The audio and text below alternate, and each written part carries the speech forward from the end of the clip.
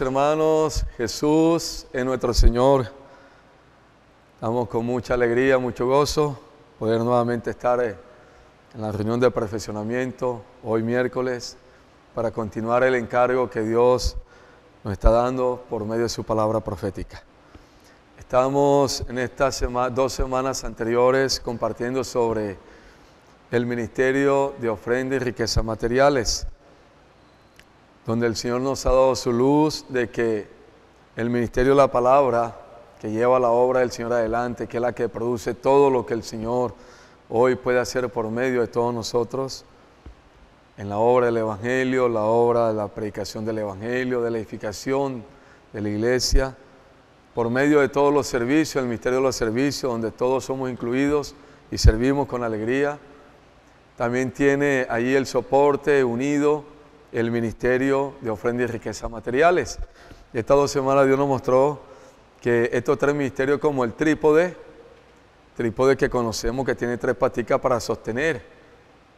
Hermanos, y hoy el Señor está hablándonos esta palabra para normalizar en nosotros el ministerio de ofrenda y riqueza material. Especialmente, amados hermanos, en la ofrenda regular que es el diezmo.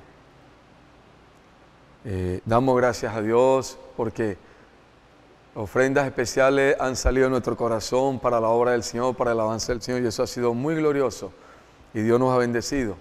Pero, pero hermanos, necesitamos normalizar todos, todos, la ofrenda de los diezmos, los diezmos que es la ofrenda regular, que ya el miércoles pasado estuvimos hablando que lo que el Señor nos bendice, de la parte material de ahí apartamos mínimo el 11, el 12%, porque nuestra justicia tiene que ser mayor que la de los escribas y fariseos, dice Mateo 5:20.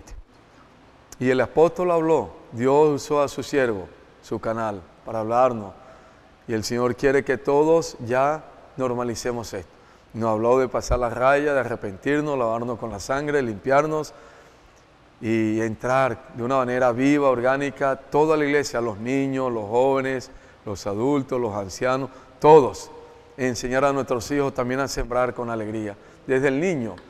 Y ya vamos a normalizar eh, la ofrenda a los niños los domingos también aquí para que ellos ganen la bendición, la oración de todos nosotros.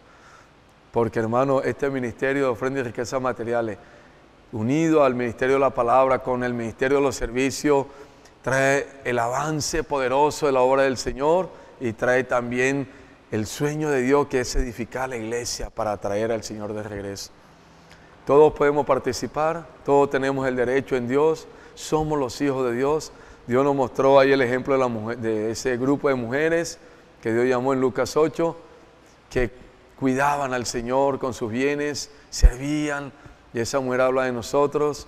Vimos el ejemplo de las iglesias de Macedonia, cómo el Señor por medio de estas iglesias, que era muy humilde, pobre, porque no es un asunto de tener o no tener, un asunto de obediencia, de creer a la palabra.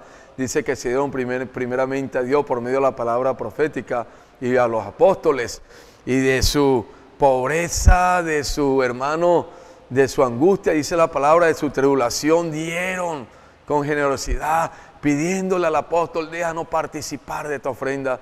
Ellos eran normales en diezmos, ofrendas y votos. También vimos que ellos enviaron al apóstol Pablo ofrendas especiales. Esas son ofrendas especiales que salen de los diezmos. Ofrendas especiales para la obra mundial. Y compartíamos el miércoles pasado, qué lindo de que los hermanos que viajamos a Brasil hubiésemos podido llevar una ofrenda especial para la obra que Dios está realizando en todos lugares de la tierra. Colportores, hermanos de tiempo completo, para el apóstol, para los cooperadores del apóstol. Pero el otro año, con la ayuda del Señor, vamos a tener esa ofrenda en febrero, unida con todas las ofrendas del país. La entregamos al obrero, a nuestro hermano Julio. Hermano, esto es una ofrenda de, la iglesia en Bayupar y de la región para la obra mundial. Y Él la, va a unir con la ofrenda, con muchas ofrendas que van a entrar de muchas ciudades, de muchas iglesias en Colombia para llevar a la obra global, mundial en Brasil. Hermanos, y creemos que Dios nos está dando una oportunidad grande, un nuevo comienzo. Las cosas viejas pasaron, y aquí todas son hechas nuevas en Cristo Jesús. Obedecemos a la palabra, a la palabra. Hoy queremos continuar este encargo con unos puntos muy prácticos, unos principios sobre diezmar, sobre diezmar, porque ahí es donde está nuestra dificultad, nuestra debilidad, diezmar. Ofrendas voluntarias especiales para algo específico, gloria al Señor, Dios nos ha usado, Dios nos ha usado. Pero el siervo, nuestro hermano Pedro dice que si los diezmos, si los diezmos son normales, muchas de estas ofrendas, muchas, habrán unas que sí, pero muchas de estas ofrendas de salir a buscar que para pagar la luz, de salir a buscar porque no hay para que los hermanos viajen la obra, hermano, de no suplirle a los hermanos de tiempo completo que están en la región, aquí en Bayupar. A veces pasan una o dos semanas y no alcanza para suplir a todo. Eso se va a acabar. ¿Por qué? Porque cuando no, cuando no entran los diezmos, entonces tenemos que salir a buscar ofrendas especiales para algo específico y no debe ser. La obra, dice ahí la palabra que estas mujeres atendían la obra, no había necesidad, porque ellas con sus bienes, y eran los diezmos, suplían al ministerio de nuestro Señor Jesucristo, a su obra que andaba por todo lugar. ¿Habrán ofrendas especiales? Sí, sí habrá, claro que sí. Ahora para el CP va a haber una ofrenda especial nacional. Obras, eh, ofrendas especiales siempre van a estar porque también ganamos la gracia. Pero salí a buscar una ofrenda especial porque no hay cómo pagar la luz. Eso, que Dios nos perdone, eso no puede suceder más aquí. Hermano, que Dios tenga misericordia de nosotros, nos limpie de ese pecado. Salir a buscar ofrenda porque no hemos enviado a San Diego, a la familia que está allí, a los hermanos en Aguas Blancas, a los hermanos, a la hermana en Codacia, a los hermanos aquí, porque no hay cómo, eh, eso no puede suceder más. Que va a viajar aquí, hermano, de la obra para la localidad y no hay 100 mil, 200 mil pesitos para los viáticos. Tenemos que salir, eso se tiene que acabar, porque va a sobreabundar para la obra, para la casa del Señor, como dice Malaquía, que mi casa sobreabunde. Malaquía es claro, hermano, esto es un principio no solamente del Antiguo Testamento, porque es que el diezmo no es de la ley, el diezmo es de la gracia. Y ahora lo vamos a mostrar con un ejemplo, el ejemplo de, de Abraham. El diezmo no nació en la ley, nació en la gracia, nació en gratitud, en amor, porque Dios nos da la victoria, porque de Él es todo. Hermano, y en Malaquías dice capítulo 3, verso 10, trae todos los diezmos al alfolí y hay alimento en mi casa. Y probadme ahora en esto, dice Jehová de los ejércitos, si no os abriré las ventanas de los cielos y derramaré sobre vosotros bendición hasta que sobreabunde. Hermanos, es un principio divino. Da y se os dará. Es un principio. Lo que el hombre siembra, eso recoge. Ahora vamos a ver en 2 Corintios capítulo 9. El que siembra escasamente, escasamente recogerá. Pero el que siembra abundantemente, abundantemente recogerá. Aquí el Señor dice, trae todos los diezmos al alfolit. Todos. Y hay alimento en mi casa. Probadme ahora en esto, dice Jehová de los ejércitos. Si no os abriré las ventanas de los cielos y derramaré sobre vosotros bendición hasta que sobreabunde. Liberamos esta palabra para la iglesia. Somos uno trayendo los diezmos al alfolí. Hay alimento en la casa de Dios. Y la bendición del Señor va a estar en nuestras vidas, en nuestro hogar, en la iglesia, porque la ventana de los cielos se abren hasta que sobreabunde no puede haber escasez en la iglesia. Hablaba Dios a través del apóstol. Que Dios nos salve, Dios nos guarde. No más. Este pecado se radica en la iglesia. Este manto babilónico en el nombre de nuestro Señor Jesucristo sale. Declaramos cielos abiertos, el cielo abierto completamente en este ministerio. Derramando bendición a toda la iglesia, a los hogares, a los negocios, a los hermanos a sus trabajos, bendición espiritual, salud física, bendición humana, material. Dios va a derramar hasta que sobreabunde en nuestras vidas. Renunciamos en el nombre de Jesús a esa escasez. Pero ¿cómo vamos a renunciar? ¿Cómo vamos a reprender al devorador que nos ha hecho tanto daño? Trayendo nuestros diezmos a la iglesia, al alfolí. Cada ocho días, cada quince días, mensual. Los diezmos, que ahora vamos a ver unos principios de los diezmos. Seguimos con este encargo. Señor Jesús, hermanos, Señor recalcaba a través de nuestro hermano Pedro, Dios a través de su siervo, si nuestra justicia no es mayor que los escribas y fariseos, dice, no entraréis y al final del mensaje que escuchamos del hermano que lo dio hace tres semanas, dice, cuando el Señor regrese te va a pedir cuenta de tus diezmos, de tus ofrendas voluntarias, de tus votos. Y si tu justicia no fue mayor que la de escribas y fariseos, no vas a tener reino. Hermano, esto es delicado. Muy delicado. Muy delicado. Demasiado delicado que Dios nos ayude, hermano. No entraréis en el reino. Está hablando del reino de los cielos. Que Dios nos salve, hermano. Que Dios tenga misericordia de nosotros. En el ministerio nuestro hermano Don Yulán nos habló la palabra sobre el joven rico. Este joven rico, hermano, que habla de todos nosotros. Aquí hay una luz, hay una luz muy preciosa para todos nosotros, luz de salvación. Joven rico es todos. No crea que es aquel que tiene mucho dinero. Claro, aquel que Dios bendice con millones, entra como el que bendice con 100 mil pesos mensual, 200 mil mensual, un millón. Todos estamos allí en el joven rico, porque es la actitud, es el corazón, es el corazón.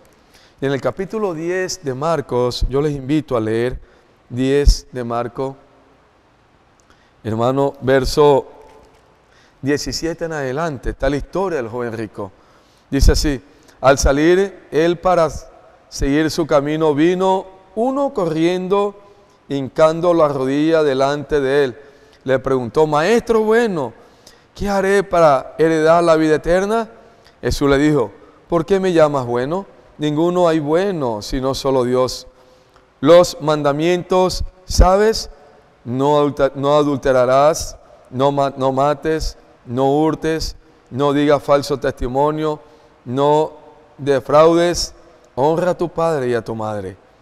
Él entonces respondiendo le dijo, Maestro, todo esto lo he guardado desde mi juventud. Entonces Jesús mirándole, le amó y le dijo, una cosa te falta. Anda, vende todo lo que tienes y dalo a los pobres. Tendrás tesoros en el cielo y ven y sígueme tomando tu cruz. Pero él afligido por esta palabra se fue, triste porque tenía muchas posesiones. Hermano, esto es muy delicado. Este joven se acerca al Señor. ¿Qué debo hacer para heredar la vida eterna? Coloque allí, ¿qué debo hacer, Señor, hoy para heredar el reino? Señor le va a decir, reúnete, lee el alimento diario, lee la palabra de Dios, disfrútala la palabra, evangeliza, vea el portaje dinámico, vea esto, vea esto, vive la vida de la iglesia. Y usted le va a decir, y yo le voy a decir, Señor, todo esto lo he cumplido desde que llegué a la vida de la iglesia. ¿Qué más me hace falta? Señor le toca algo que hacía falta. Era su corazón en esto que se llama el ministerio de ofrenda y riquezas materiales aplicando la palabra hoy con el encargo de normalizar nuestros diezmos y ofrendas de riquezas materiales, hermano, este joven rico nos representa a nosotros. No vamos, hermano, a repetir la historia de este joven rico, que esto no quede escrito, que los últimos vencedores, parte de los últimos vencedores que Dios había escogido, trabajadores de última hora, endurecieron su corazón, no escucharon la voz del Espíritu. Señor ha hablado, si oyes hoy su voz, no endurezcáis vuestro corazón. El Señor le dijo, ve y vende todas las cosas y entrégalo a los pobres. Ven y sígueme. Pero qué lindo que dice que antes de darle esa palabra dice, y lo amó. Lo amó. Verso 21 dice, entonces Jesús mirándole, mirándole. Señor nos está mirando con esta palabra a todos. Le amó. Hermanos, reciba esta palabra con el amor entrañable del Señor. Ese amor nos quiere salvar. Lo amó. Dios nos ama. Se ha traído esta palabra porque nos ama. Quiere salvarnos. Dice, lo amó y le dijo, una cosa te falta. Usted y yo podemos decir, hermano, Señor, yo voy a la reunión, voy a esto y, tengo 30 años. Yuri puede decir, tengo 30 años, voy al Evangelio, predico, estoy en todas las reuniones, leo la Biblia, el alimento. Yuri, pero te falta una cosa la ofrenda de riqueza material este ministerio no ha sido fiel. Entrega mis diezmos, entrega mis votos, mis ofrendas. Ven y sígueme. Sígueme para el reino, hermano. Dice la palabra que este joven dice, entonces, pero él afligido por esta, por esta palabra se fue triste porque tenía muchas posesiones. Hermanos, Qué triste que este hombre, Dios lo probó, amó más el dinero que al Señor y a la, a la vida eterna. Él estaba pidiendo la vida eterna. Mire qué cosa tan tremenda. Vida eterna. Él era una persona que conocía la palabra. Él era un judío. Él aplicaba la ley. Hermano, la religión no sirve. La ley no sirve. Mandamiento hombre no sirve, sirve una luz, una visión, un amor, una obediencia a la palabra. Hermanos, estaba pidiendo la vida eterna y le dio más valor a lo material. Y esa vida eterna es el mismo Dios, el mismo Señor, la misma obra, la edificación de la iglesia hoy, porque es el Señor como vida edificando. Él se fue muy triste y afligido porque tenía muchas posesiones. Hermano, esto es muy serio. La palabra dice, si no eres fiel en lo poco, mucho lo vas a hacer en la abundancia. Si eres fiel en lo poco, vas a ser fiel en la abundancia. Dios está hablando a todos nosotros, aquellos hermanos que tienen un nivel de ingreso normal de un millón en adelante, que es el mínimo, demos nuestros diezmos. Los hermanos que tienen otro nivel más, más altico, 2, 3, 4, 5 millones, 6, nuestros diezmos. Los hermanos que tienen un nivel mayor de 10, 12 millones, 15, 20, 30, 50 millones, no sea como el joven rico, amando más sus posesiones. Dice que amó más sus posesiones. Amó más lo material. Sabe que el Señor nos ha mostrado por estos 50 años, el misterio de Manodón, que las riquezas en nuestra carne, en nuestra parte natural, es un ídolo, roba el amor que es del Señor. Aquí este hombre amaba más la riqueza que a Dios, que a la vida eterna, que le iban a dar la vida eterna. La vida eterna, él estaba pidiendo la vida eterna. Nosotros se nos va a dar el reino. Podamos con alegría obedecer esta palabra. Y puede decir, Señor, aquí están mis diezmos. Toma mis diezmos, son tuyos. De hoy en adelante. Hermanos, si uno dice, te falta una cosa. ¿Quieres heredar el reino? Te falta una cosa. Entrega mis diezmos. Hermano, la iglesia obedece a este mandato divino de la vida de Dios para la obra del Señor. Vamos a mostrar el primer principio eh, que Dios nos quiere hablar sobre los diezmos. En Primera de Reyes, capítulo 17, sobre la viuda de, de allí hay una aplicación muy linda sobre el diezmo, hermano. Aquí el profeta habla de la obra, habla del Señor, profeta Elías, habla de la obra del Señor. Dice que Elías llegó a ese lugar. Vamos a leer. Primera de Reyes, capítulo 17, verso del 8 al 16. Vino luego a él palabra de Jehová diciendo, levántate, vete a Serepta de Sidón y mora allí. Y aquí yo he dado orden allí a, un, a una mujer viuda que te sustente. Señor hace cosas, hermano, al revés, una cosa que eh, la lógica humana aquí no entra. La, lógica humana no sirve para lo espiritual, no tiene cabida. Mire lo que dice, entonces él se levantó y se fue a Sereta, obediente. Y cuando llegó a la puerta de la ciudad, he aquí una mujer viuda que estaba allí recogiendo leña. Y, y él la llamó y le dijo, te ruego que me traigas un poco de agua en un vaso para que beba. Y yendo ella para traerle, él la volvió a llamar y le dijo, te ruego que me traigas también un bocado de pan en tu mano. Ella respondió, vive Jehová tu Dios, que no tengo pan cocido, solamente un puñado de harina tengo en la tinaja y un poco de aceite y una en, un poco de aceite en una vasija. Y ahora recogía dos leños para entrar y prepararlo para mí y para mi hijo, para que lo, para que lo comamos y nos dejemos morir. Eso fue cuando la sequía no llovió sobre la tierra por tres años y medio. Imagínense.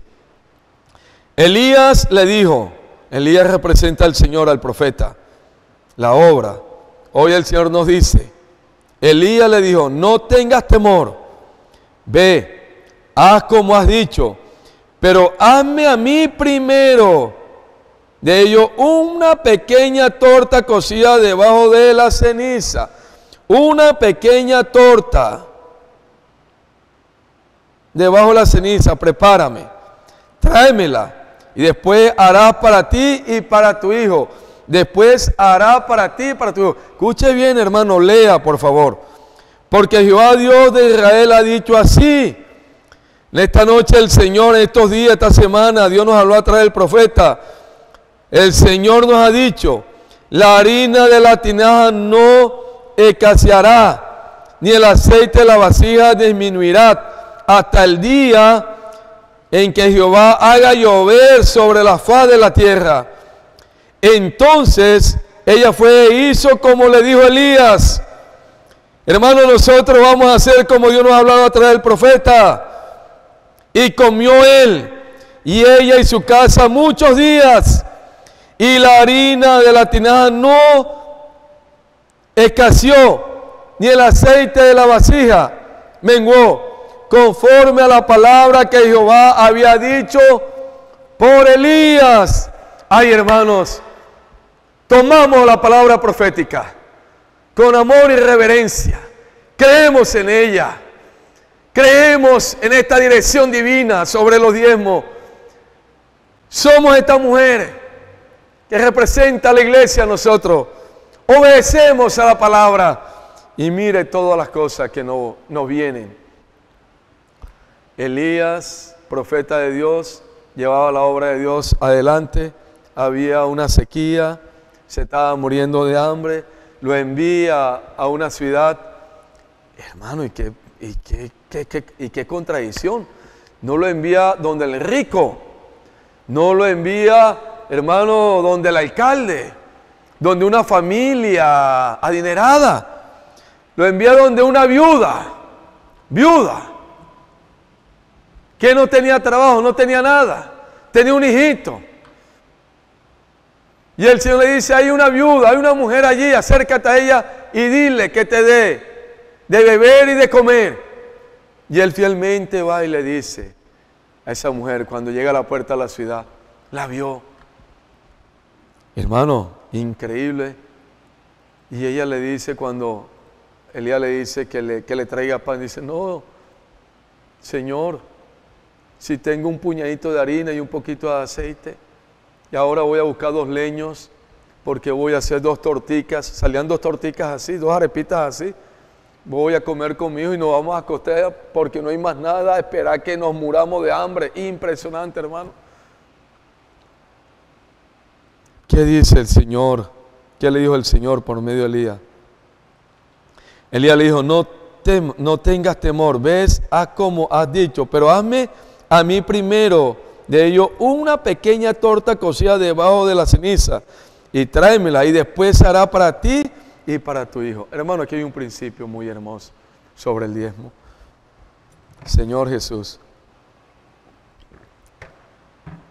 cuando recibamos la bendición del Señor, el pago, sea mensual o diario, usted, los hermanos que tienen su negocio, vamos a apartar primero el diezmo. No nos dejemos engañar más. Que tomamos lo que Dios nos bendice, entonces comenzamos esto, para esto, para esto, para esto, para esto, para esto, para esto, para esto, para esto, para esto. Y cuando vamos a ver, no quedó el diezmo del Señor. Quedó una ofrendita, una moneda. Pronto el diezmo de 200 mil pesos, quedaron 20 mil, 30 mil pesos.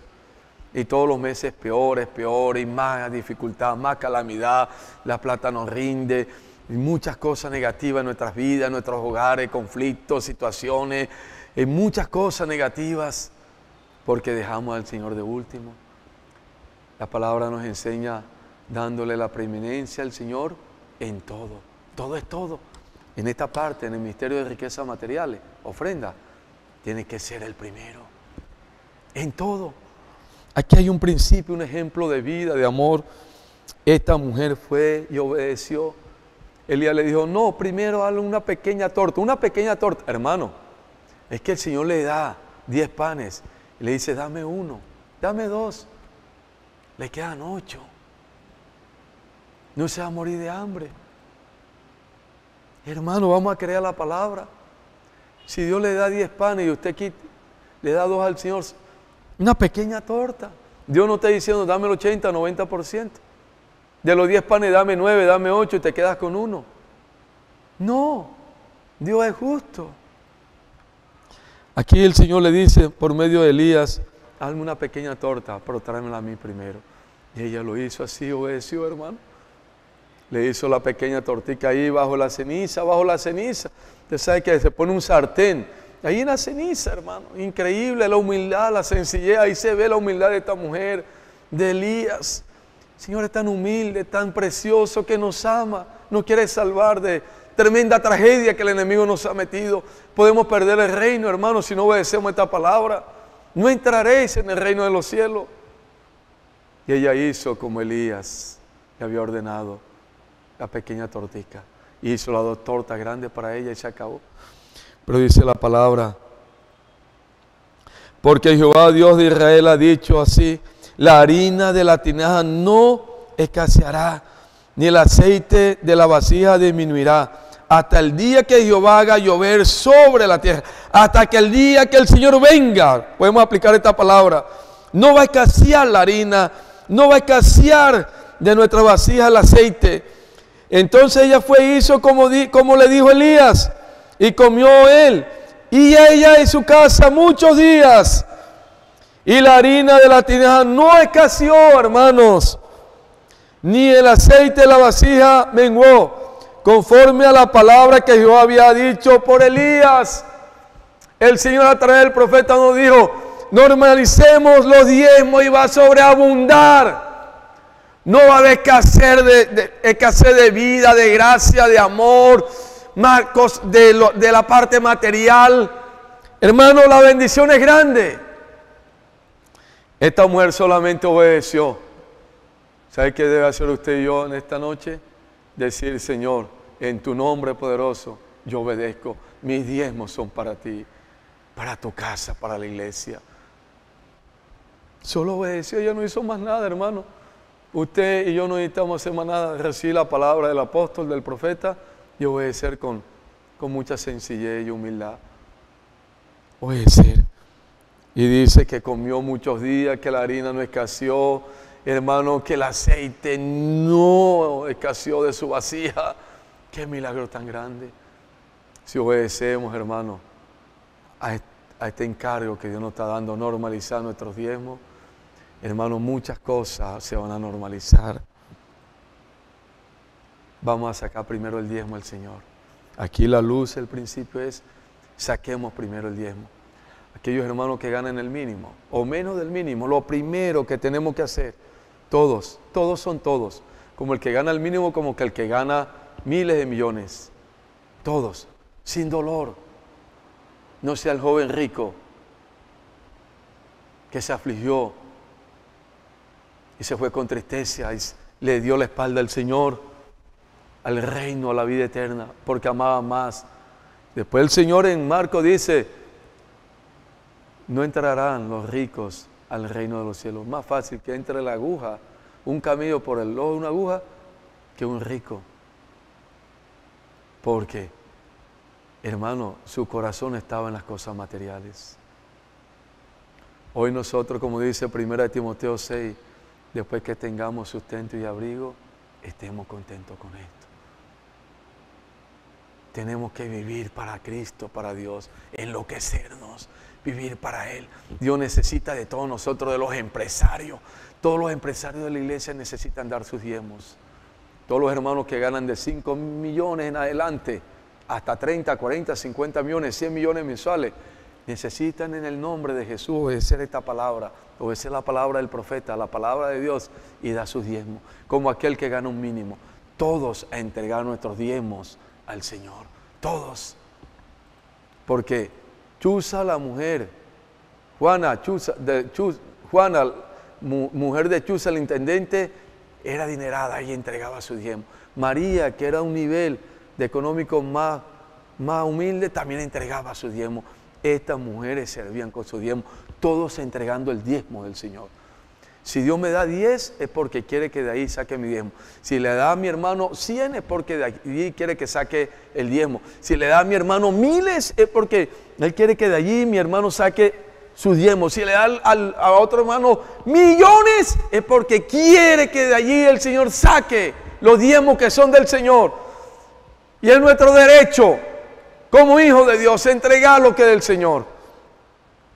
Hermanos, tomemos este principio.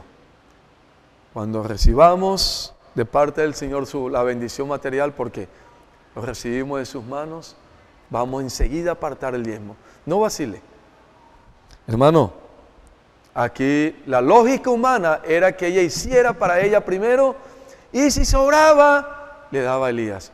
No, es que no iba a sobrar nada, que era lo único que tenía. Lo único que tenía, hermano, esta mujer.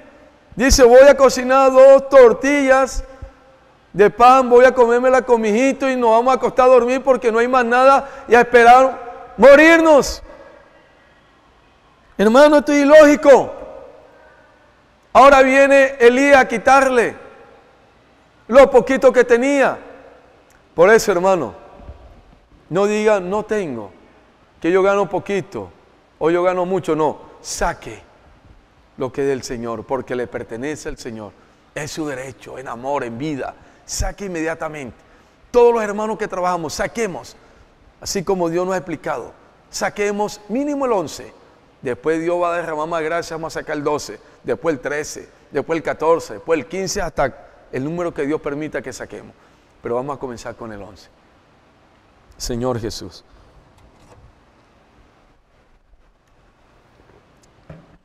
Hermano, ¿por qué? La bendición es grande para todos nosotros. Y lo, y lo, más grande, el reino nos espera, hermano. Otro principio, el de Abraham, amados hermanos. También Dios por 40 años nos lo mostró por medio de su siervo, nuestro hermano, nuestro hermano Don. En los últimos años él habló sobre este principio. Él nos enseñó y él con su ejemplo nos enseñó a entregar todo nuestro ser en amor al Señor, dinero, todo. En Génesis capítulo 14, hermano, verso 18 y 19, conocemos la historia que Abraham va a liberar a su sobrino Lo, hermano, y con 318 campesinos derrotó un reino, cuatro reinos juntos que habían derrotado a cinco reinos juntos. Y él con 318 campesinos, trabajadores, eran pastores de ovejas.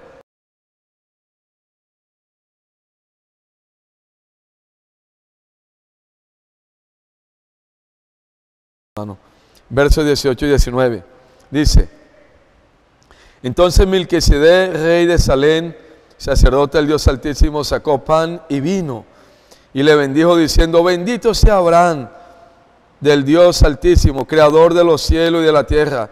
Bendito sea el Dios Altísimo que entregó en tus, que entregó Abraham los diezmos y le dio a Abraham los diezmos de todo. Hermano, ese Melquisedec es un, es un tipo de Cristo, dice en hebreo. No tenía genealogía, no tenía nada de, de Cristo. Cuando Abraham viene de la guerra, él le da qué pan y vino. Eso habla de la gracia, habla de Cristo como nuestro alimento. Vino habla de nuestro gozo, nuestra alegría. Él venía en victoria, hermano. Habla de la vida, del Espíritu. Y lo bendice Melquisedec, Abraham. Bendito eres.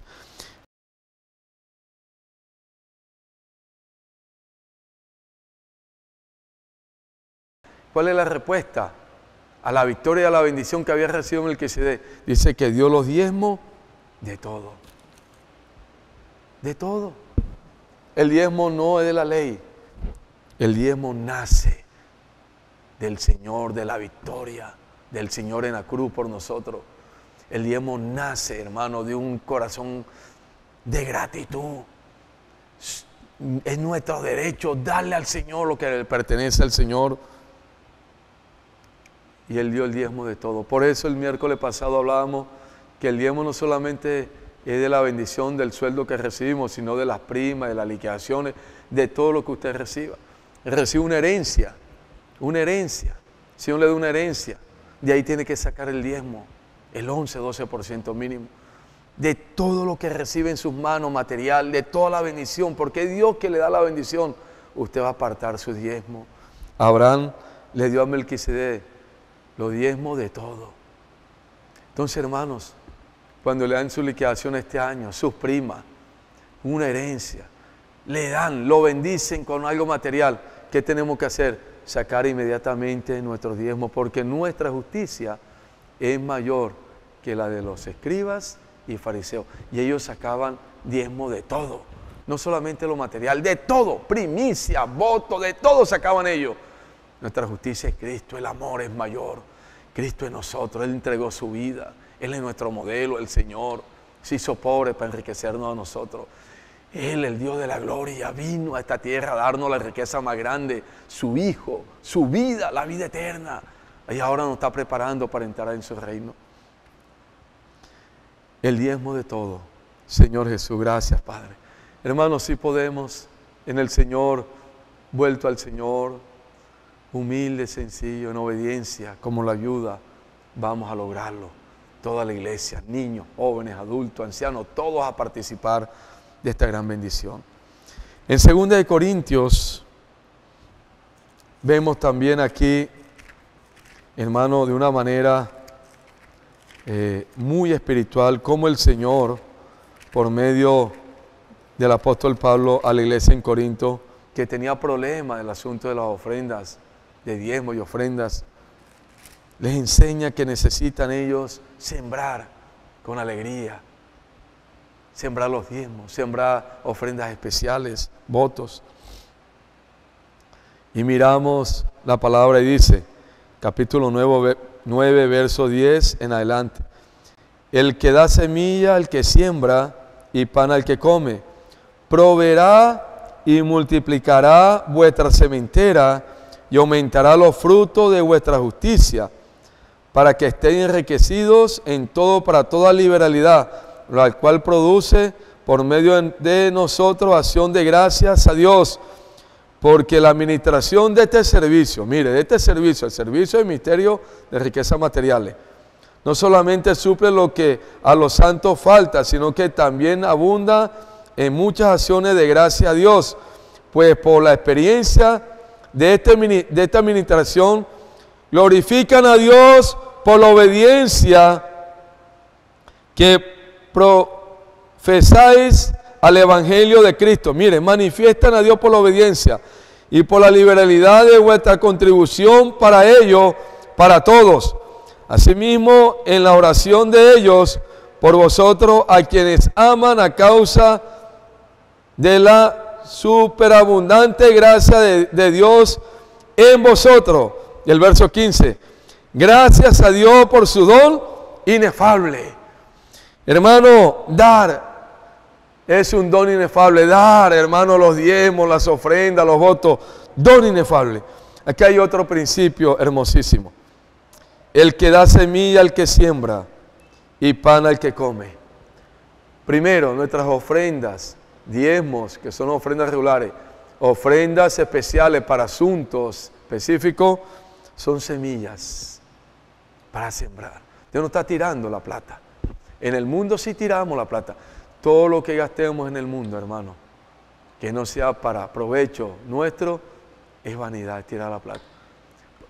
Por eso el Señor dice en Isaías 55, hermano, que no gastemos en lo que no es pan lo que Dios nos ha dado.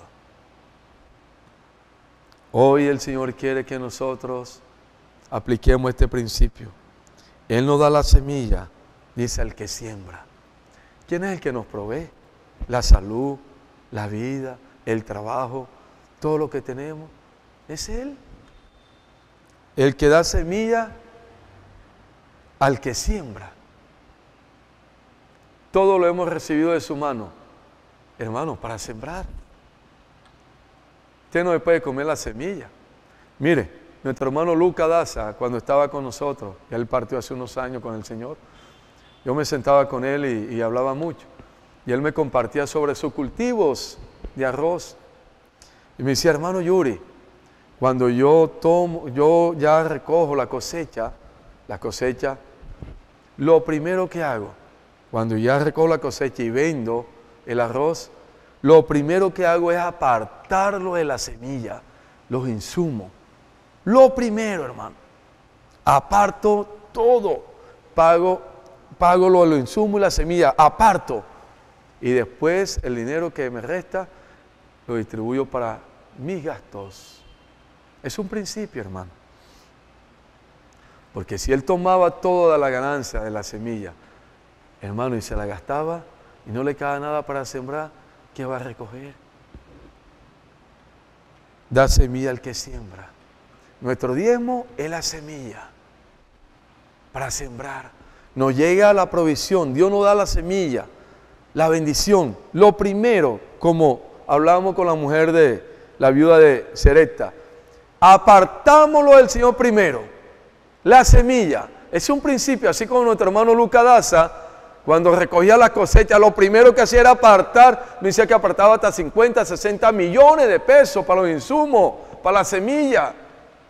Porque si él tomaba toda la plata y se comía todo, ¿cómo iba a volver a sembrar? ¿Cómo iba a tener, hermano, después? Y aquí hay una profecía, dice, multiplicaré las cementeras.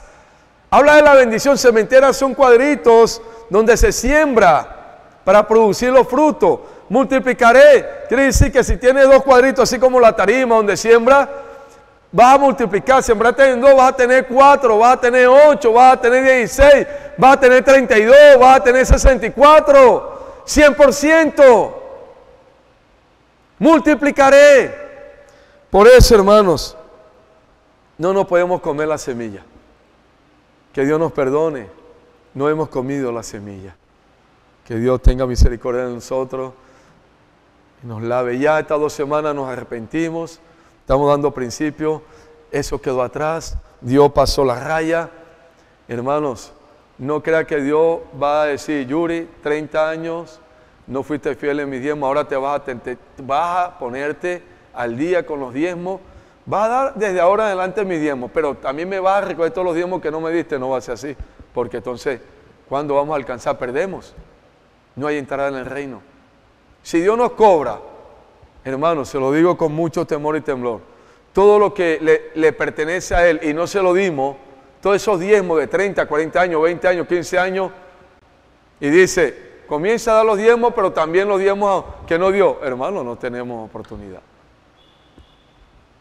Pero Dios está hablando, pasen la raya, tomen mi sangre, lávense con ella, olviden lo que queda atrás, vamos a extendernos, obedezca esta palabra y más nunca caiga en el error de robarme mi diezmo, de qué hace con mi diezmo, con la semilla, entre lo que es mío, es su derecho, con gozo, con alegría, con amor. Borrón y cuenta nueva. Qué gracia tan grande, qué Dios tan bueno, misericordioso. Yo creo a la palabra. Dice en Hebreos 7 que Él nos limpia, nos purifica con su sangre de todo pecado, más nunca se acuerda y más nunca se va a acordar. Entonces, hermano, es una oportunidad única. Vamos a darle los diezmos al Señor. Es nuestra semilla. Dice el verso 6 del capítulo 9 de Corintios. Pero esto digo, el que siembre casamente también segará, segará escasamente y el que siembra generosamente, generosamente también segará. Si sembramos con alegría, con gozo, con amor, con esta visión, con este enfoque del reino, de la edificación de la iglesia, del avance del evangelio del reino, la obra, sostener la obra del Señor, hermano, no va a haber escasez. Pero si sembramos con escasez, también segaremos con escasez. La parte espiritual, la parte humana, la parte material, todo. Que Dios nos libre de este versículo. Queremos estar, que Él multiplica nuestra cementera. Y lo creemos porque ya el Señor profetizó que los cielos están abiertos y va a derramar hasta que sobreabunde. Porque Dios necesita de todos nosotros, de todos. Hermano, esta hora la hace el Señor por medio de su palabra profética, pero sin el ministerio de riquezas materiales y el ministerio de los servicios y especialmente riquezas materiales la obra no se realiza. Nosotros como iglesia, en el negocio del Padre, como dijo Jesús, en, en los negocios de mi Padre necesito estar, en la empresa de Dios. Hermano, hermano, esto es grande. Cuando David dio su ofrenda, su diezmo al Señor, dijo, la obra es grande. ¿Qué visión le dio el Señor? Esta obra es grande. Hermano, tenemos una obra aquí en esta tierra. Dios nos ha multiplicado en regiones. Bayupar es una iglesia como modelo para esta región, Cesar, Guajira y Magdalena. Dios nos entregó esta región. La obra es grande. Necesitamos hermanos de tiempo completo en Aguachica. Una familia de tiempo completo para hacer una obra grande allí. Necesitamos un hermano de tiempo completo en Curumaní en la Jagua Ibirico. Hermano, ahí en el centro para hacer un trabajo con todas las iglesias que ya Dios levantó y las que no están, levantar nuevas iglesias. Pero se necesitan dos hogares allí, allí en el centro del Cesar, haciendo esta, porque hay muchos municipios y corregimientos. Dos hogares perfeccionando a todos los santos que están allí, hermano, para el avance del Evangelio. Un hogar en Aguachica, de tiempo completo. Un hogar aquí en el centro de La Guajira. En Riguacha necesitamos un hogar de tiempo completo. Necesitamos cinco o seis hogares pronto, porque la mies es mucha, los obreros poco, de tiempo completo. Que salgan con su familia a servir en amor, libres, sin ninguna preocupación material, sino entregado a la obra, porque hay unas mujeres que sustentan con sus bienes a esos siervos que Dios apartó. Son los Pablos hoy, donde una y otra vez sostienen la obra del Señor. Aquí en Bayupar se necesitan dos hogares mínimos más para servir. Con todas las herramientas que tenemos, necesitamos un hogar sirviendo mínimo en los asuntos de la obra de colportaje dinámico. Un hogar sirviendo en los asuntos prácticos aquí, espirituales, pastoreando. Por la gracia del Señor yo estoy en la obra extralocal, pero también estoy aquí. Hermano, es que esto usted no sabe toda la carga, Dios mío, por la gracia, por la misericordia del Señor, por su presencia.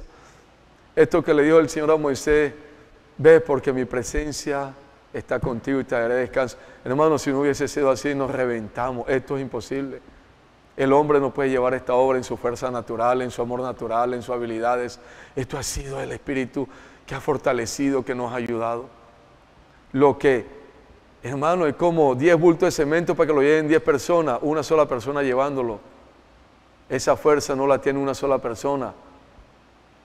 Dios, el superviviente poder, pero Dios quiere normalizar esto. Se necesita mínimo ya, en menos de un año, 8 10 hogares de tiempo completo para que sirvamos aquí y en toda la obra. En toda la obra, César Guajira y Mandalena. Y para eso se necesita el ministerio de ofrenda y riquezas materiales, que sea abundante para que el Señor supla todas las necesidades, todas. ¿Cuántos hermanos necesitados en la iglesia? ¿Cuántos hogares? Sí, podemos sembrar ahí. Hoy sembramos, pero muy poquito. En estos días fui donde una hermana y me conmovió tanto de que no ha podido venir a las reuniones hace un mes porque no ha tenido para el transporte y vive muy lejos. Muy lejos, dice hermano, a veces escasamente lo que el Señor nos da. Ella es viuda, el esposo se fue hace dos años, tres años. ¿Cuánto necesitamos esa abundancia en la casa de Dios para suplir a todos los hermanos? Los hermanos que son de escasos recursos, los hermanos enfermos, las viudas. Gracias a Dios que cuidamos a la hermana Marlene, pero tenemos que cuidar las viudas. Esa hermana es una viuda y es mayor de 60 años. Nuestra hermana Eli, es para que le demos una ofrendita a esa viuda. Todas las viudas de la iglesia. Alicia, una mujer que se entrega, ha entregado el Evangelio, tiene 40 años de estar aquí. Alicia va a cumplir 70 años. La Biblia dice viudas mayores de 60 años. Ya Alicia entra allí. Usted la ve todavía fuerte y la ve así, porque aquella torta todos los de una hora. Pero Alicia tiene 68 años, solita. Qué lindo es que nosotros, la iglesia, también cuide de Alicia. No que los hijos le dan, que esto, que tienen plata los hijos, no importa. Amén, que sigan bendiciendo a Alicia, pero la iglesia necesita también bendecir a esa sierva, que es una viuda. Hermanos, necesitamos vehículos nuevos para la obra, camionetas, porque subimos a las montañas. Todavía subimos aquí a la sierra en el carro de la iglesia, como es bajito, se golpeó muy fuerte y golpea, necesitamos un carro grande para la obra del Señor, uno dos carros. Entonces mire todo este proyecto en Dios, colportores dinámicos de tiempo completo.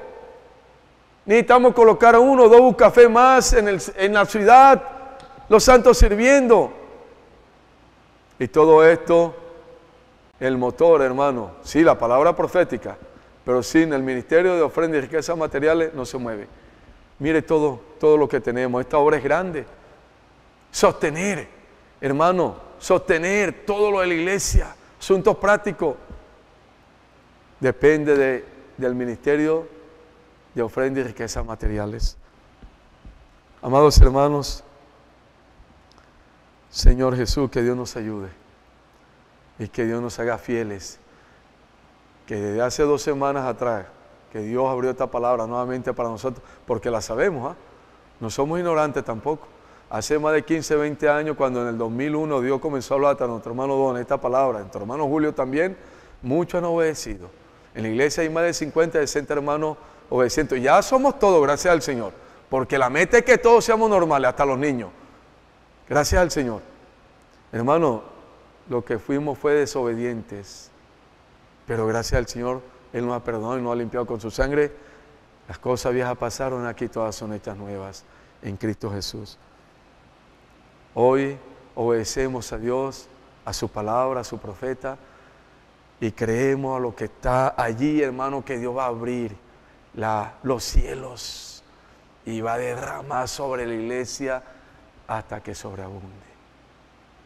¿Cuántos jóvenes tienen que ir al CP? Ahora se abre el CP en Colombia. Hay familias que no tienen cómo sostener a esos muchachos.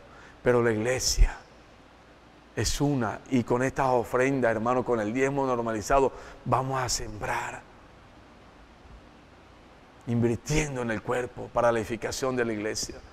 Mire todo este proyecto. Y si comenzamos a hablar de asuntos prácticos, necesitamos 100 colchonetas ya pronto, necesitamos 200 sillas más, porque cuando hay conferencia tenemos que alquilar 200 sillas.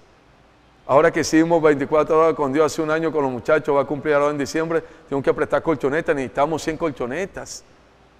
Necesitamos reformar allá la cocina, hacerle unos trabajos. Necesitamos también aquí la, habitación del segundo piso, hacerle una, reforma. Necesitamos reformar también el techo acá, que, está dañado el machimbre de la casa. Los salones los niños. Eh, hay comején por todas partes, el machimbre se lo comió el comején, hay que cambiar todo ese machimbre, ahí hay que invertir como 20, 30 millones de pesos, hermano. Allí, asuntos prácticos, materiales de la iglesia. Necesitamos comprar una cámara. Aquí estamos con el ciudadano de José que vale 3, 4 millones de pesos para, para este servicio. Necesitamos comprar instrumentos musicales nuevos. Necesitamos un piano que vale 2 millones 500, no hemos podido. Necesitamos comprar el piano. Estamos comprando unos micrófonos nuevos porque los que están ya tienen 8, 10 años y José llega, un milagro de Dios los remienda, hermano, y están, necesitamos comprar por ahí un, 2 millones de pesos de micrófonos. Hermano, si ve, todo esto hace parte de la obra del Señor. ¿Y cómo Dios va a suplir? Porque es el Señor. Por medio de todos nosotros nos diezmos en ofrendas especiales. Y si los diezmos del Señor se normalizan, muchas estas cosas se pueden normalizar también. Entonces, gloria al Señor, hermano. Mire esta obra tan grande, espiritual, de obra, hermano material aquí, asuntos prácticos. Mire todo esto. ¿Y de dónde va a salir todo eso? De la viuda, de las iglesias de Macedonia. Hermano, pero ¿qué? La lógica aquí no cabe. El Señor usó fue a la gente. Y el otro miércoles, si Dios permite, y seguimos, la viuda también que dio la dos blanca, dice el Señor que entregó todo porque era todo lo que tenía. Ella venía de planchar a las 6 de la tarde una judía, tenía que entrar al templo y de la dos blanca, póngale que eran 40 mil pesos, tenía que dar 4 mil pesos. Y llega y echa los 40 mil